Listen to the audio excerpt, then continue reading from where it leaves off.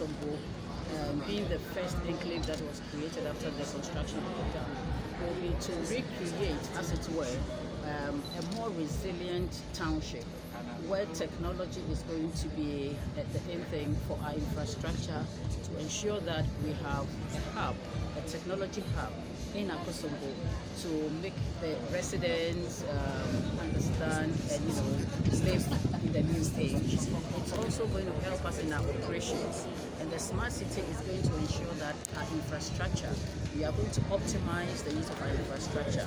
And so we're going to build data centers, we're going to have data centers and you know everywhere within the township there will be the opportunity to be linked to technology so that you know the residents, the businesses around will create that kind of industrial So the City is rebuilding, you know, Akosombo township to be more resilient, to be more technologically oriented, and to deliver more for national development. And let us. All right. So the electronic pass will be part of the introduction of the smart city. So um, we are actually at a stage where we are procuring uh, consultancy services uh, to to get this whole project, you know, in place. So within the course of the year, we're going to start that initiative. And one key aspect of that whole smart city project is the introduction of the electric buses. Mm. So, with deadline to this, when are, are you expecting this to be achieved? I think at this point Mm. it would be more prudent to say that the project is about to start and um, we would want to keep deadlines.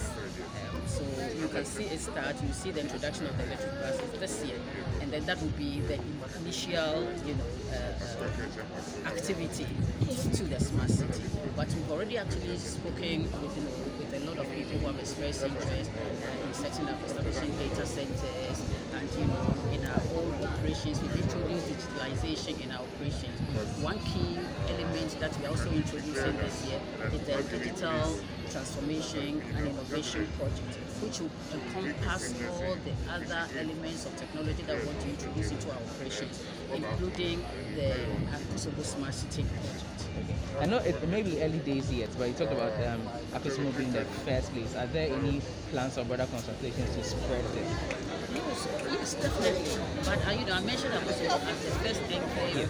We have Akuse also, which is one of our enclaves because we have the old dam uh, power plant also in Akuse. In, in Akuse. Uh, we have the Akosombo Dam here, the powerhouse is here.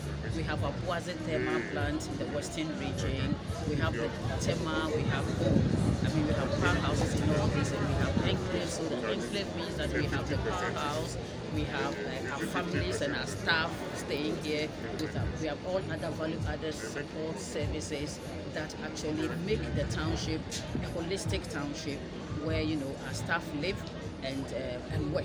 And with their families, we have the schools, we have the hospitals, we have the hotel, you know, we have water river, uh, water lake transport, and all such facilities that really make it a whole enclave. So the enclave in our operations means that you know, everything, for all inclusive township for VRA operations. Okay, all right, thank so.